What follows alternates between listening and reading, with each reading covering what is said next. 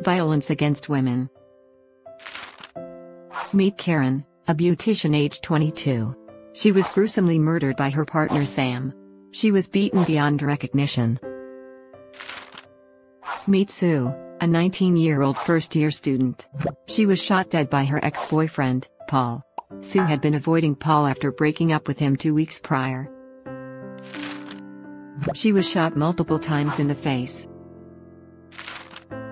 Meet Lindsay, a 31-year-old mother of two, she was killed by her ex-husband Adam. He stabbed her numerous times, on their anniversary.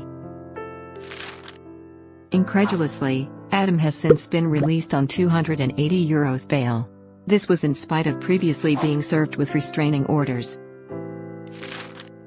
Meet Naima, a 40-year-old mother of three.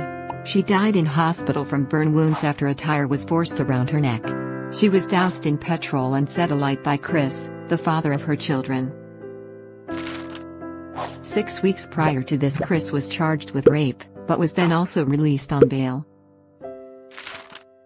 These are just some of a vast number of cases of sexual and domestic violence and offenses against women. These ended in the ultimate tragedy death.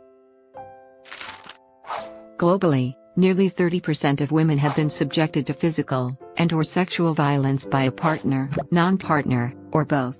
And, almost 40% of murders of women are committed by their partners. On 25 November, International Day for the Elimination of Violence Against Women, will launch 16 days of activism. This is to raise awareness and prompt drastic action to change these statistics. The goal is a brighter future, free of violence against women and girls.